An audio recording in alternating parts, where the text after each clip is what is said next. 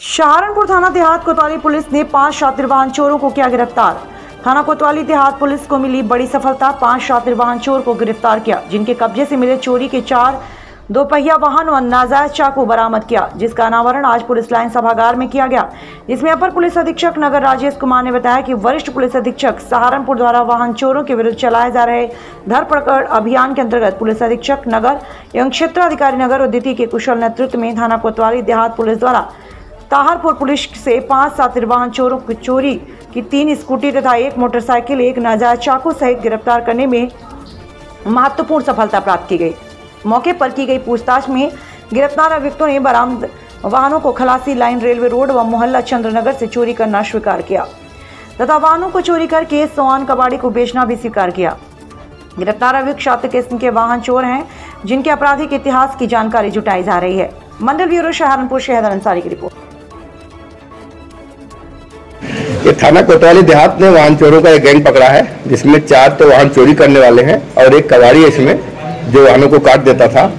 और ये अगर जो वाहन बरामद हुए हैं, अगर आप देखेंगे तो ये सब यही जनपद के ही थाना क्षेत्रों से चोरी किए गए हैं।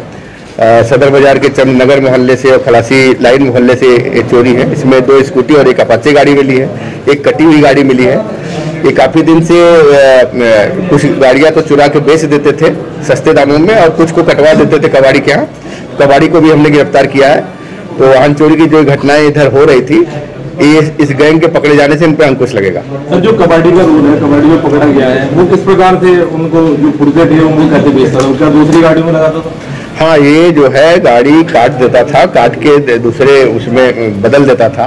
उसके जो भी पुर्जे होते थे और उसको अन्य दामों में भी बेच लेता था केवल गाड़ी की शक्ल में नहीं बेचता था पुर्जों को भी बेच लेता था तो कबाड़ी इस बात को बता रहा है यहाँ जो पकड़ा गया। क्या अन्य राज्यों में सप्लाई करते थे ये लोग कहीं से किसी संबंध अन्य किसी राज्य में गैंग से अभी और इनसे पूछताछ की जा रही है फ़िलहाल अभी यहीं की गाड़ी जो गाड़ी बरामद हुई है यहीं से चोरी की गई थी और कबाड़ी जो है वो भी यहीं का रहने वाला है उनसे बातचीत हो रही है। सरगना अगर आप इसमें देखेंगे तो एक बिकल राड़ा है इसमें।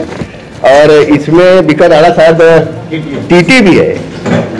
एक एक एक, एक ज़रूरी बात इसमें यह है कि ये टीटी भी है। रेलवे विभाग में। टीटी की नौकरी भी करता है। और हाथ उठाइए। हाँ रेलवे में टीटी है और इसकी आम सूरत वहाँ खराब है। इसके विभाग से भी हम लोगों ने पता किया। वहाँ भी चोरी वोरी घटनाएँ करता है ड्यूटी ड्यूटी पे ही। ये अम्बाला में। तो वहाँ से भी जानकारी की गई है टीटी है, और ये एकदम बिगड़ा हुआ टीटी है जिसको कहते हैं तो इस तरह से चोरी की घटनाएँ करता है ठीक है।